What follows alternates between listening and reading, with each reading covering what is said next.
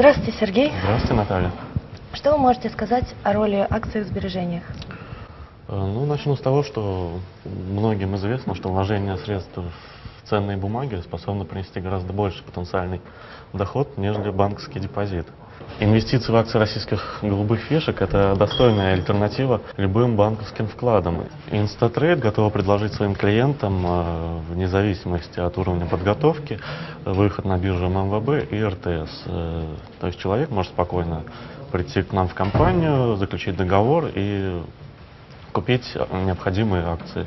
При помощи, конечно, инвес- инвестиционного консультанта или брокера. Сергей, вы в своем докладе упомянули про рынок фьючерсов. Как вы думаете, способен ли этот рынок заменить в последующем рынок Форекс? Знаете, торговля фьючерсами э, во многом похожа на рынок Форекс. По сути, э, сам принцип торговли э, абсолютно такой же. Те же индикаторы, то, те же условия, те же новости. Все по сути так же. Единственное, то, что фью- фьючерсный рынок имеет свои особенности, с которыми необходимо будет э, ознакомиться в начале, перед тем, как начнете торговать фьючерсами. Любой трейдер, работающий на Форексе, может перейти к торговле фьючерсами, но учитывая некоторые особенности торговли фьючерсами. Несмотря на то, что рынок фьючерсов схож с рынком Форекс, по данным статистики, более половины трейдеров, работающих на фьючерсных рынках, зарабатывают деньги. В то время как по, по этой же статистике 90% трейдеров теряют на рынке Форекс.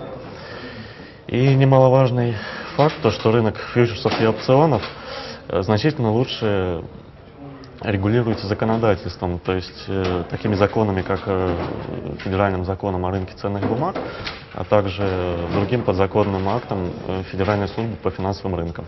И напоследок хотелось бы задать вопрос, какие впечатления от выставки шоу FXWO? Выставка в целом порадовала своей организацией. Может быть, были небольшие накладки, но это не испортило общего впечатления. Люди приходили, интересовались. В принципе, хочу пожелать, чтобы выставки продолжались и дальше, и радовали посетителей, а также участников. Хорошо, мы рады будем вас видеть в Москве в ноябре месяце.